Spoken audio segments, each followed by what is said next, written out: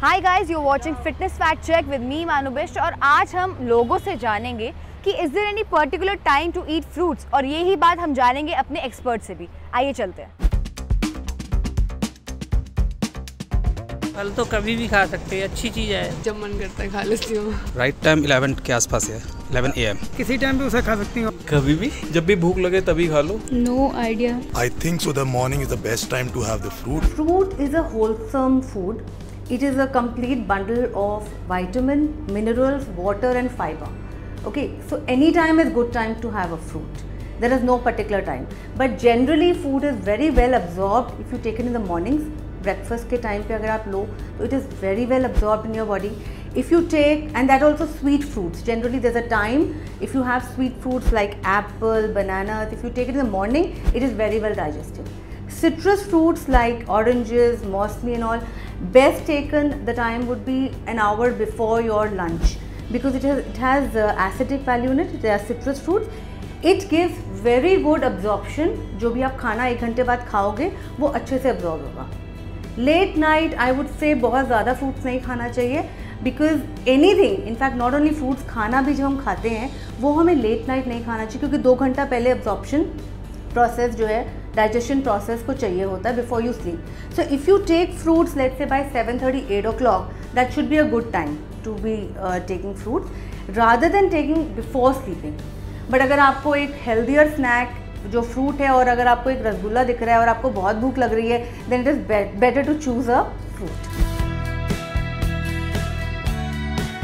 if technically speaking, uh, surviving on fruits we talk about, yes, we can survive on fruits definitely, but it is not advisable health wise. We need, we have about four or five food groups which should be taken in the body. Carbs should be taken, protein should be given to the body for muscle building, fiber should be there, vitamin, minerals should be there, good amount of water intake should be there. Now, a fruit we get fiber, we get vitamin, minerals, we get water intake, but carbs and proteins जो muscle building के लिए requirement है वो नहीं मिल पाता है. So ultimately only fruits a person will not be able to survive for long. We will need some amount of protein to be taken along with it and some amount of carbs to be taken along with it. fruits should not be taken along with the main meals because what happens is uh, if you're taking a fruit it gets digested in the body for within about 20 25 minutes खाना हम खा रहे हैं like carbs protein दाल, रोटी, चावल, जो भी हम खा रहे हैं, सब्ज़ी ले रहे हैं, उसको डाइजेस्ट करने में लाइक कार्ब्स को फोर आवर्स लगते हैं प्रोटीन को फाइव टू सिक्स आवर्स लगते हैं सो इट टेक्स लॉन्गर ना if you combine a fruit along with wholesome meal जो हम खाना खा रहे हैं, उससे क्या होता है, जो फ्रूट की जो डाइजेशन पावर है, वो कम हो जाती है. It gets mixed up with the normal food digestion so it doesn't get digested properly because वो मिक्स हो गया है the enzymes which digest the fruits gets mixed up and the uh, fruit actually gets deposited as toxins in your body.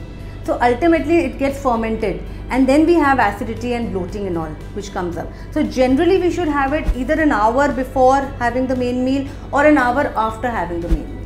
So we should never combine it together.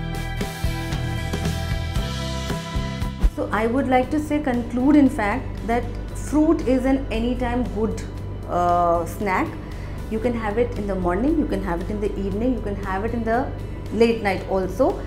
If you have choices, accordingly you can choose.